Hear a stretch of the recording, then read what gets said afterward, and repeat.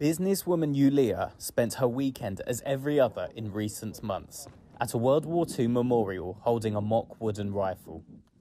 The memorial commemorates miners from the Donbass region who were sent to defend the port town of Odessa against the Nazi invasion in 1941. Yulia, along with many other citizens, are training for a similar scenario.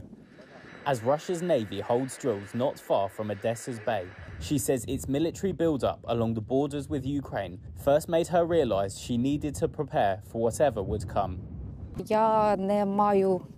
I don't have any experience in sports, let alone in martial arts or something like this. I'm a very peaceful person, and my everyday life skills include cross stitching, cooking, and so on. хрестиком, знаєте, і там готувати їжу і так далі. But now I understand that we might have to stand against well prepared people, and whatever the outcome, in order to resist these people, I must be trained at least a little bit. Для того, щоб якось їм протистояти, я маю бути хоч якось підготовлена.